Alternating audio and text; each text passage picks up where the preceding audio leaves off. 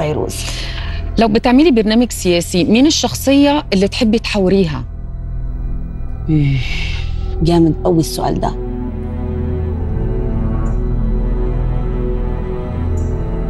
رئيس جمهورية مصر العربية. الرئيس السيسي آه.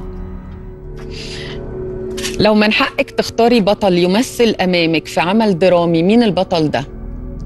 آه، موجود صح؟ آه. آه، هختار آه، آسر ياسين. ليه؟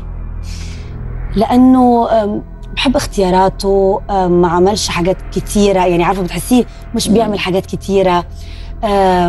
بح- حبيته كتير برسائل البحر. آه متمكن. إيه. لو طلبوا منك